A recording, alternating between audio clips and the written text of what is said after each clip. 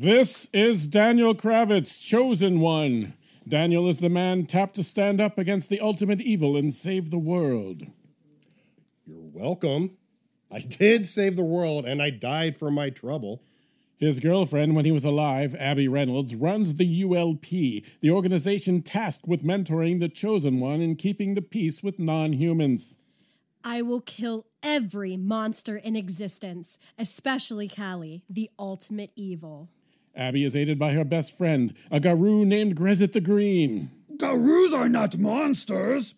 You wouldn't kill me, would you, Abby Reynolds? Of course not, Grezit.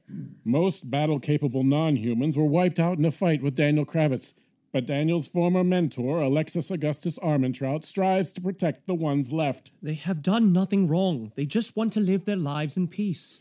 Daniel's other former mentor, Rufus Reginald Rochester, quit the ULP and reopened Kravitz Antiques in Brightside, Ohio. It seems a fitting tribute to Daniel, who is the last chosen one I will fail.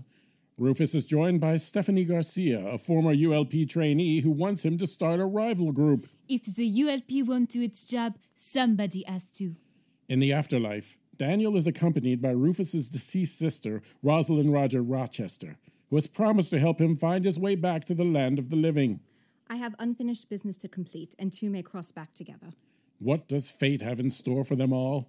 We'll find out in Daniel Kravitz, Chosen One.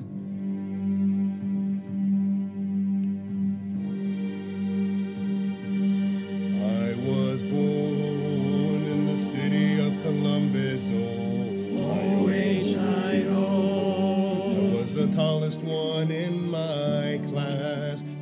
six.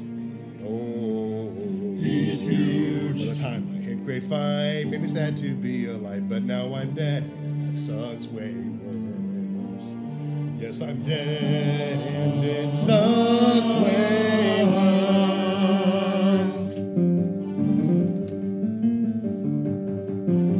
I died when I was far too young. Misery and grief were the friends brought. The afterlife is bad, but no use getting mad. I hope I can soon move along. And now we're without the chosen one. But the battle is far from done. I will save the world at last. And I will help with bash and smash. My mace, Mr. Smashy. Ha ha.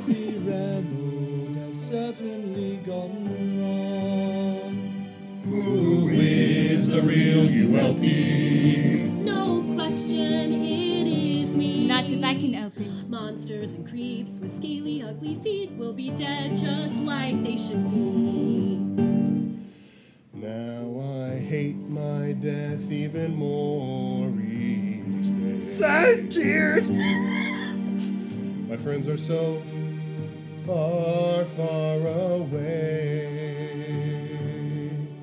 Fighting the ultimate evil. I just hope to believe that they are. Save the world without the chosen one. Save the world without the chosen one. Goodbye.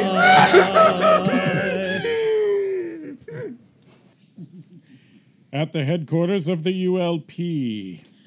Who did it? Did what, Abby Reynolds? Let the prisoner go. No, it was not I, Abby Reynolds. Oh, of course not, Grezit. Who was it, though? The uh, security camera. Don't the- show anything.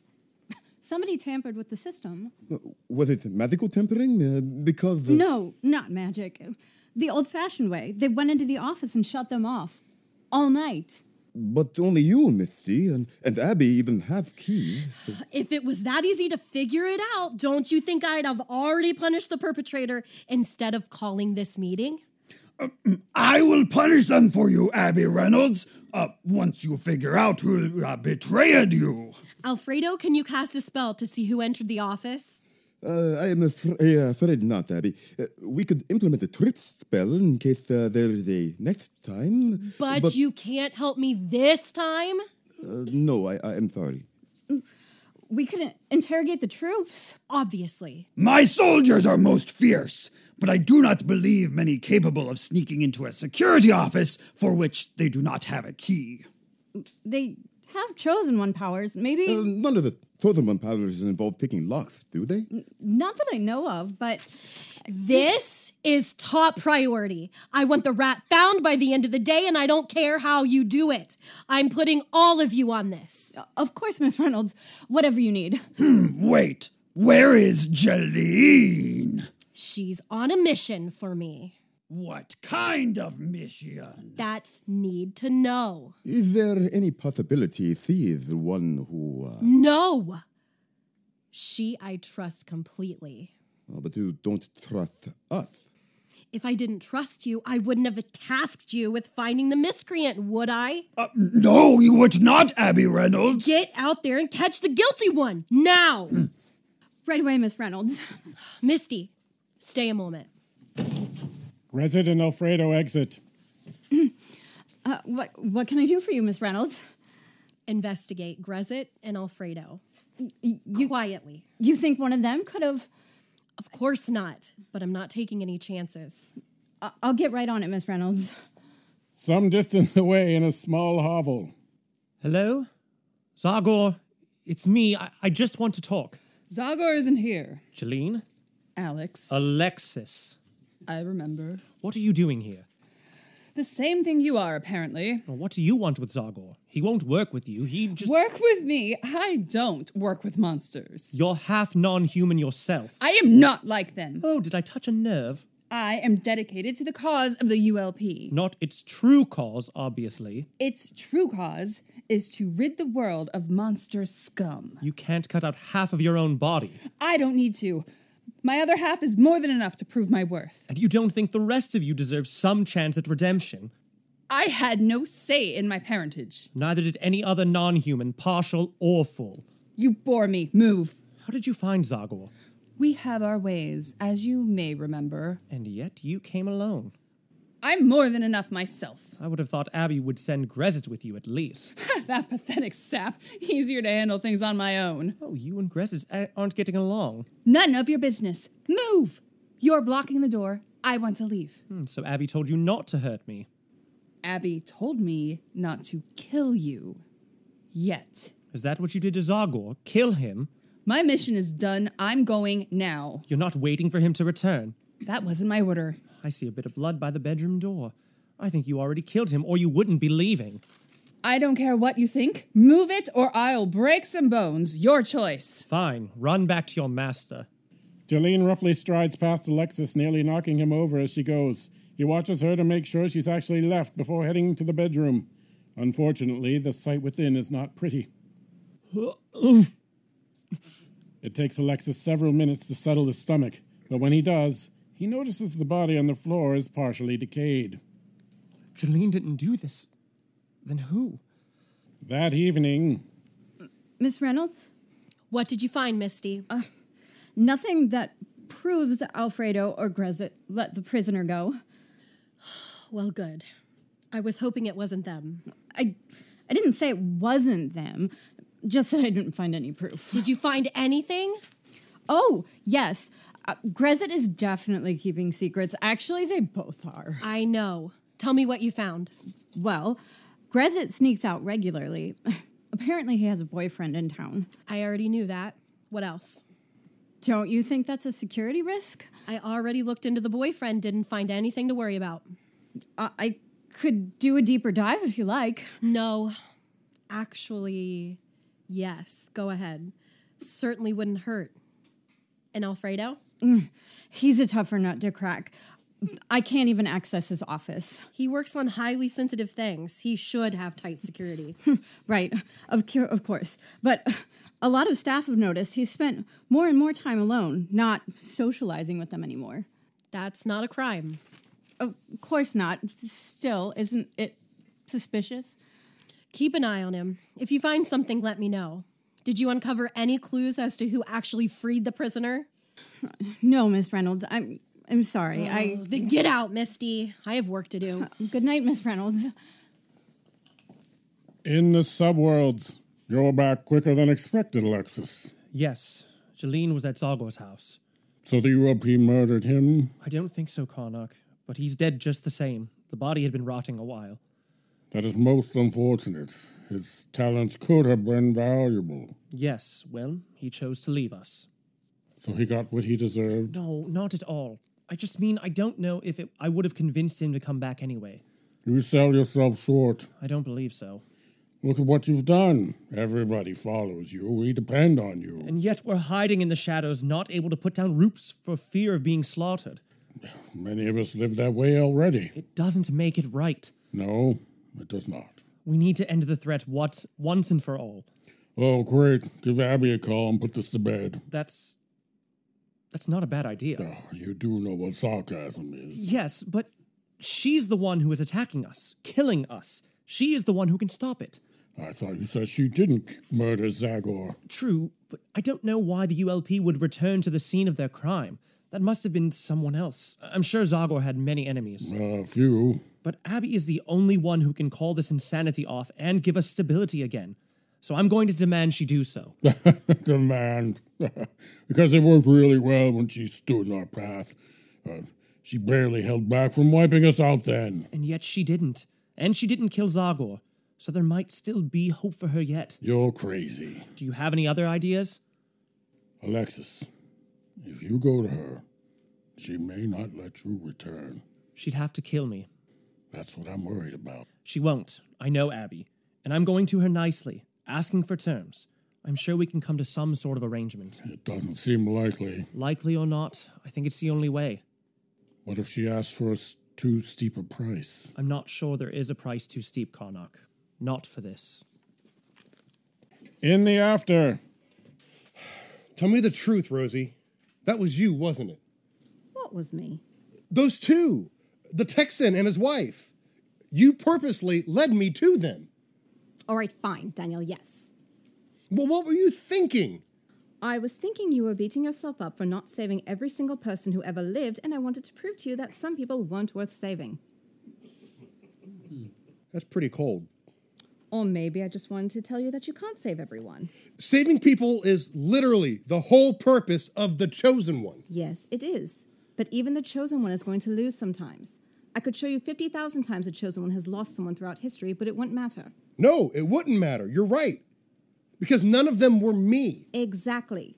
Look, no one is perfect. You know this. You don't even like most people. That is true. Right. So, unless you know everything that's going to happen before it happens, you can't prevent everything. You had no idea those twats were in danger before they died, did you? I mean, now twat's a little bit harsh, but I mean, no. But I should. You should have. Really. How could you possibly? Chosen one senses or, you know, something. That's crap, Daniel.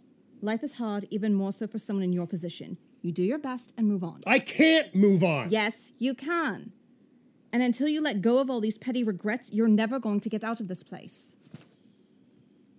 Why not? Because you don't want to. You don't think you deserve to. I don't. And that's my point. No one does.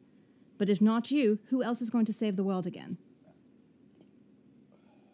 Novir? You don't seriously believe that. no. no, I don't. Then get over it. Stop obsessing over failure and do what you can now. You're right. Of course, I'm right. So, are you good now? No. But I'll try to be. That's the spirit. Come on, lead us to the ultimate evil and let's get this done. In a cozy cabin near the ULP headquarters. I did a bad thing, Charlie. I don't believe it, Grezit. You could never do a bad thing. I acted most shamefully. The Grezit I know would never do something shameful. Then you do not know Grezit the Green very well.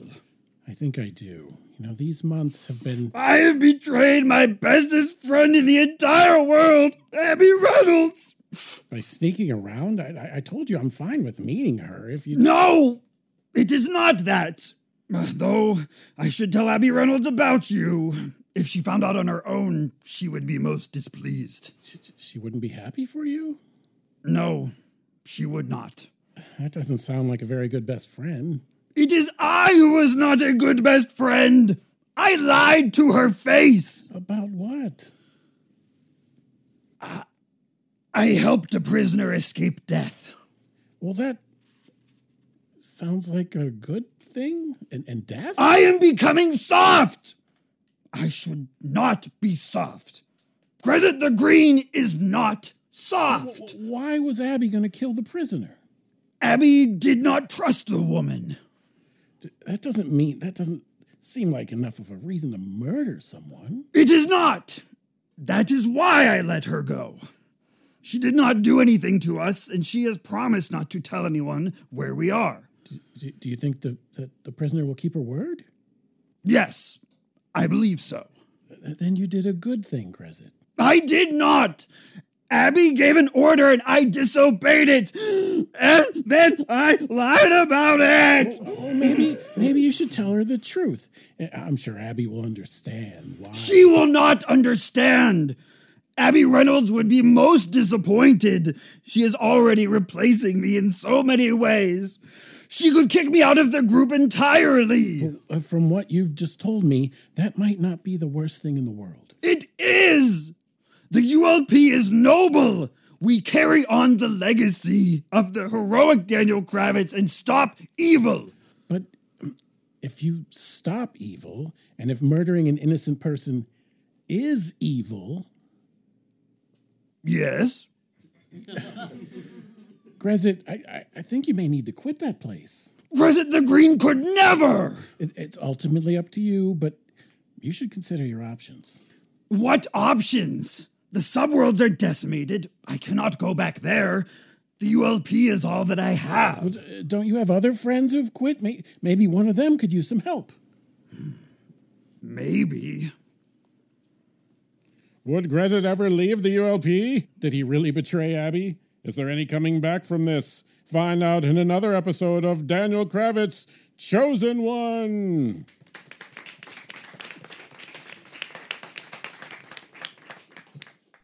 It's All Been Done Radio Hour number 462, Daniel Kravitz Chosen One, episode 56, Turns.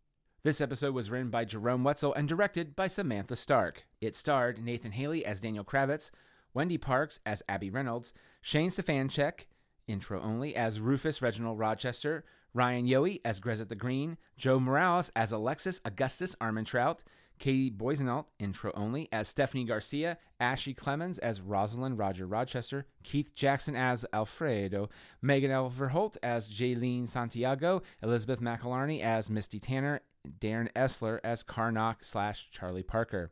This episode was narrated by Darren Esler. Our Foley artist was Megan Overholt. Our technical director is Shane Stefanchik. Our music director is Kristin Green. Theme songs are composed by Nathan Haley with lyrics by Jerome Wetzel. This podcast was edited by Trulie Awesome Productions.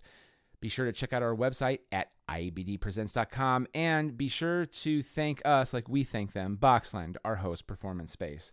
Don't forget to support us at patreon.com forward slash IABD. A mere $5 donation gets you access to past, upcoming raw audio to our monthly shows, mm, as well as exclusive performances, bloopers, short stories. So check it out. Have a great week. It's All Been Done presents Who's Got the Time?